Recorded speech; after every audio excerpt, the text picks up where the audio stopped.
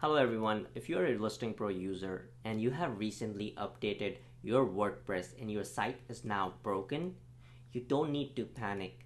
All you have to do is download this plugin from WordPress, enable jQuery Migrate Helper. This is a plugin that is released by the WordPress team because they have announced there was a conflict, there's an issue actually within the latest WordPress version. So what they did was to fix that, they released another plugin and this issue is not just with Listing Pro, there are thousands of other plugins and themes that are affected due to this update.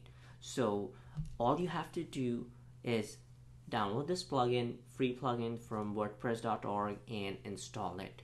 And a lot of issues that you're currently facing uh, with Listing Pro or WordPress will be resolved. You might assume that this is a Listing Pro issue and that's what has been happening with us and a lot of people started coming to our comments page and started complaining and uh, saying that it was it's all listing pro uh, and you know there's issues with listing pro. Yes there are uh, issues with uh, time to time that comes and we'll fix but th- this is not a listing pro issue. This is a wordpress issue and um, you know we even started getting bad reviews because of this what wordpress has done. So please just have uh, some patience and just try to uh, learn what's going on because everything that uh, goes wrong cannot be listing pro uh, issue right? I mean you know.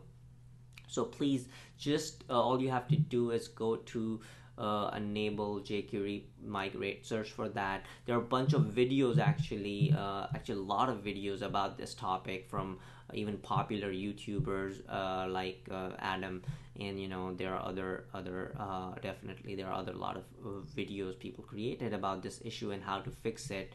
Um, so this is not something new and it can be easily fixed. So go ahead do that. The other thing you want to do is make sure you are using the latest um, listing pro uh, version uh, which is the the 6.2.6 uh, as there was some uh, security vulnerabilities that were fixed in 6.2.6 uh, and 2.6.1 and you want to make sure you are using the latest version. We will uh, hopefully in the future version we might even try to include this jQuery plugin as um, part of the uh, update.